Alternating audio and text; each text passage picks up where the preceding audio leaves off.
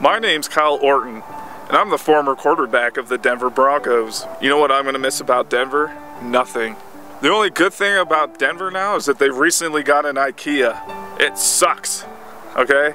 If you're Tim Tebow, it doesn't suck. If you're John Elway, it really doesn't suck. You walk down the street and people give you quarters even though you're not even homeless. You know what John Elway reminds me of? That horse you guys have by your airport. Demon horse. I'm on to you, John Elway. I know what you're doing.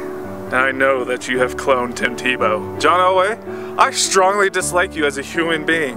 Now I want you to check this out. My rockin' neck beard. If it wasn't for beer, I probably would have jumped off of Pikes Peak by now.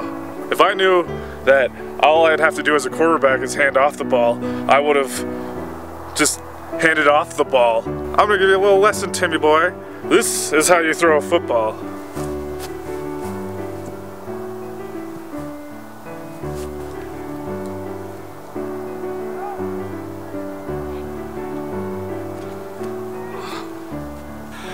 Had to have at least been a mile.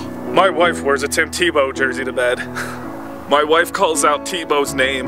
My mom invites Tim Tebow over for dinner, and she makes her special meatloaf. My dad's in a fancy football league with Tim Tebow. And guess who his quarterback is? Tim Tebow! I'm a quarterback, Dad. It that Tim Tebow just shows up and everyone's like, I'm gonna buy his jersey? You know, it's really hard completing passes. You know, I see your jersey in the stands. Nobody loves me. My self-esteem is so low. And I want you to remember this, Denver. If it wasn't for me, there'd be no Tebow.